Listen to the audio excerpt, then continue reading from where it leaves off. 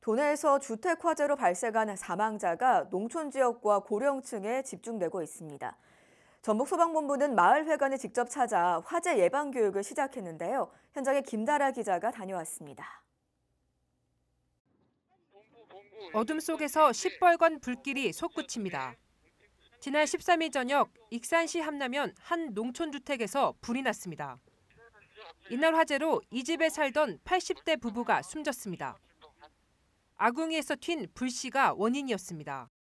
농촌 지역은 화재 예방이 어렵고 노인들이 많아 대피에도 취약합니다.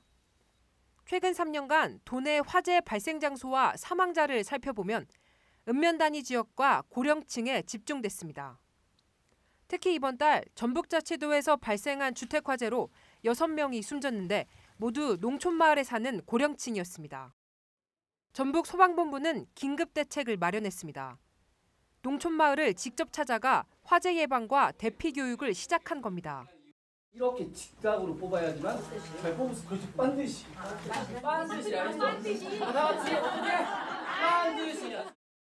겨울철에 주택 화재가 빈번한 이유는 전기장판 같은 온열기구와 아궁이 사용이 늘어나기 때문입니다.